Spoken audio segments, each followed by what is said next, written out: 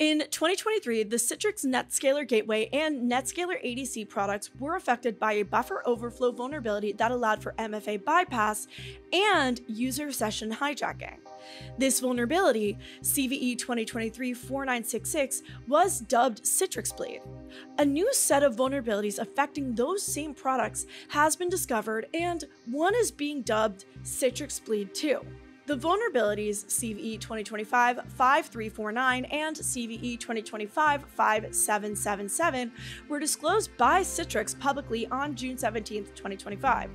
The highest interest vulnerability is the CVE 2025-5777, which works by using out-of-bounds memory reads to steal tokens and extract authentication data to bypass MFA and hijack user sessions, which sounds pretty similar to the OG Citrix Bleed attack. In the formal Netscaler blog, it says that the vulnerabilities have not been seen exploited in the wild, but researchers at ReliaQuest have seen otherwise.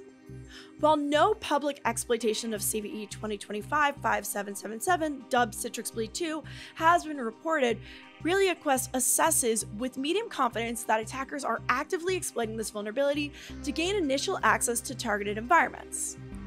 In addition, Citrix has slowly been changing CVE's information as time progresses, with the original description of CVE 2025-5777 originally talking about how out-of-bounds memory reads for the NetScaler management interface was affected, but they eventually changed it to be more general about the NetScaler products. There are several versions of the ADC and NetScaler products that are affected by these vulnerabilities, so be sure to update your Citrix instances ASAP.